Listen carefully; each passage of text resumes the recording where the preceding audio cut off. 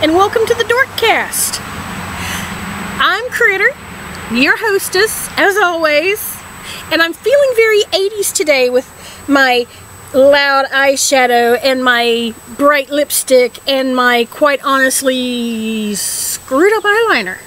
Yeah, I'm not very good with that maybe I need to um, do a makeup tutorial on how not to wear makeup.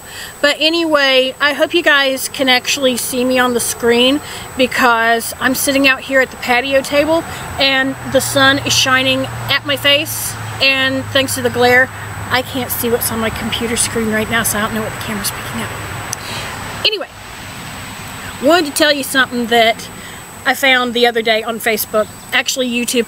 Okay, so you know I got a 10 year old daughter and she is like mad into YouTube. So one night about a week ago, she starts going through videos and stuff and she finds this um, uh, emergency broadcast system joke thing. I know you know what the emergency broadcast system is. It's that thing that anytime there's bad weather or, you know, aliens show up whatever, you'll hear that. And then this robotic voice comes on and says, please stand by for important weather information. And then it goes into whatever. So, um, she found some that were funny. Some were funny, some were just plain stupid. But I'm thinking about doing one. I would really love to do one. So if you guys want me to do a mock-up broadcast warning, then, you know, like, subscribe, comment, whatever. Tell me what you want me to do. And if I get enough likes and everything else, I will do one of those mock-up emergency broadcast system things. And hopefully it'll be hilarious. But in the meantime, I want to tell you what my cat did today. Oh my gosh. Okay, you know I have these cats, right?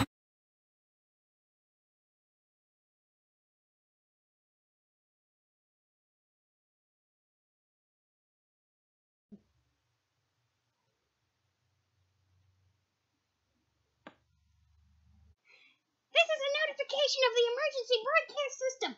This is not a test. Thank goodness it's not a test because we would have failed. Hello, I am Mimi Van Floofy Butt with Channel Zero News with a wind breaking news story. The National Weather Service, which consists of several nearly always correct weathermen using a Windows 3.1 computer, said that at 4:20 p.m. Eastern Standard Time, the Doppler radar reported a tornado high on Pot, located in Whoville.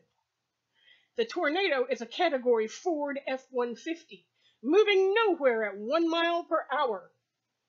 This storm is capable of creating wind gusts as high as 2 miles per hour and hail the size of Smurf balls.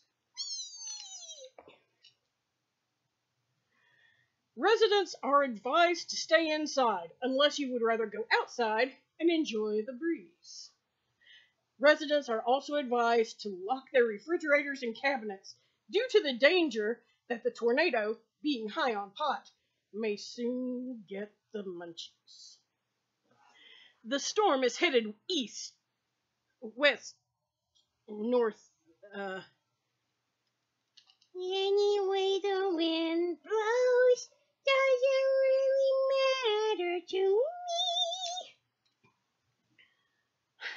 tuned for further developments as the tornado is also in puberty.